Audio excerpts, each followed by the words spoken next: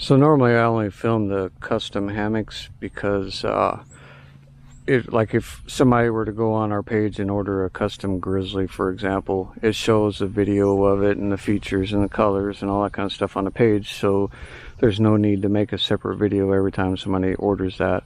I do the custom videos uh, do the videos on the custom hammocks because that way the person that ordered it they get a chance to see it before it's shipped out to make sure everything is the way they want it I wasn't going to do a video on this one only because the person that uh, ordered it, he uh, lives close by, so he's going to come out and pick it up in person. So he'll be able to physically check it all out and make sure it's the way he wants it before he gets it. But uh, I decided because it's kind of a unique color, it's robin egg blue. This is uh, this hammock is uh, made out of Hyper D 1.6 fabric that that's in. I mean, I'm sorry, it's made out of the 1.9 ounce ripstop nylon that is uh, robin egg blue in color.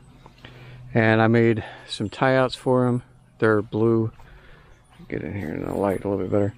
They're blue. Uh, they hook up to the uh, just like our Grizzly and uh, it's got zipper pulls that are the same color. They're on the inside and outside. The um, this is not actually a Grizzly. It's a little bit different because I did the net a little different.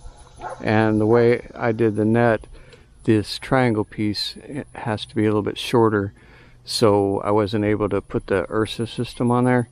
And because uh, it needs to be down here farther um, farther down. The triangle needs to be bigger for that Ursa system to line out for the underquilts so um, and the net's done a little bit better I mean not better a little bit different the net's done just it's the shape of the hammock it's not um, shape where on our grizzlies it comes down at an angle and then flat across and then back up.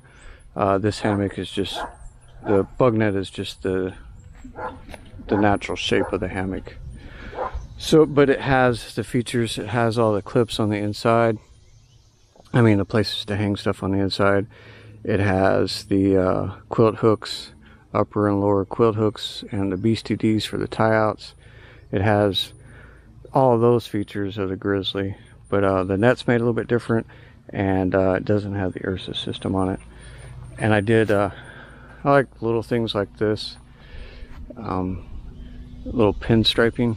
I don't know if it's showing up, but the the thread on this is uh, the same color as the fabric, just to make it uh, add a little splash of color, add a little like a pinstriping on a car or something, and uh, instead of just using black thread you know just adds a little bit a little bit of pop to it. Um, he's got cinch buckle suspension and straps and uh, everything else on the net's done the same. It's got all the zigzag stitching to reinforce the bug net and the second row of stitches down there to uh, attach the zipper to it um, but yeah that's it um, like I said I'm not gonna show a whole lot of details on this one because the person's actually to see it in person. Um, and like I said, the other custom, the other videos of custom hammocks I do, it's so the person can see it before I ship it out. That's why I try to show as much detail as I can in the videos.